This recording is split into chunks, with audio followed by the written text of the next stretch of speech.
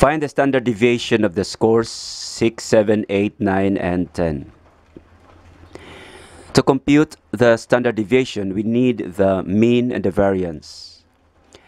The mean is just the average of the scores, while the variance is just the average of the squares of the deviation from the mean.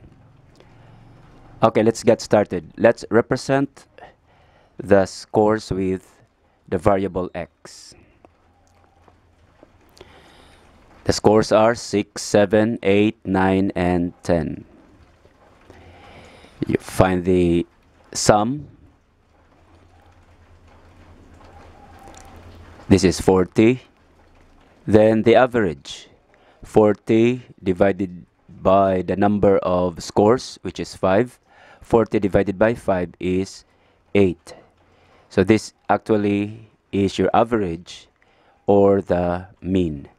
Let's represent the mean with the variable x bar.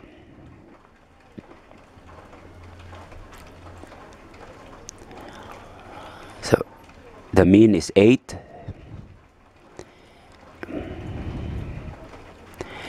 Next, we are going to get the difference of the score and the mean, or simply the deviation from the mean.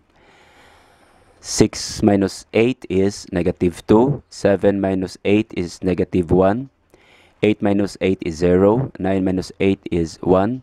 10 minus 8 is 2. Then you square the deviation from the mean. Negative 2 times negative 2 is 4. Negative 1 times negative 1 is 1. This is 0. 1 squared is 1. 2 squared is 4. Again, you find the sum. This is 4 plus 1, 5, 6, 10. Then find the average. 10 divided by 1, 2, 3, 4, 5 equals 2.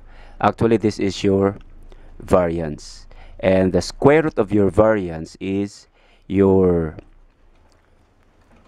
standard deviation. So the square root of 2 is equal to 1.41.